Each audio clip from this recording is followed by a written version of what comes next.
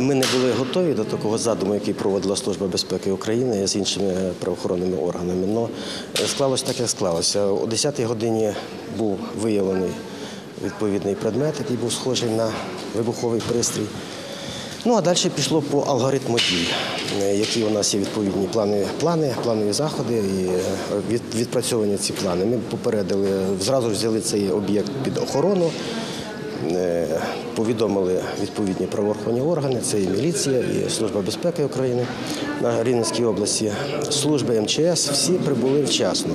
Хочу сказати, що за них я не відповідаю, але знаю точно, що е, в 10-й годині ми отримали е, інформацію про те, що ми виявили предмет. О 10.30 перший корпус був евакуйований повністю. І при потребі була, коли вказівка зайти в сховище, то відповідно люди зайшли в сховище, яке у нас знаходиться в першому корпусі. Е, Після цього було е, е, після евакуації відповідно. Всі заходи пройшли так, як потрібно. Цей предмет був забраний спеціальними службами. Ну і була проведена відповідна нарада всіх правоохоронних органів з нашою участю. Дала оцінку відмінно.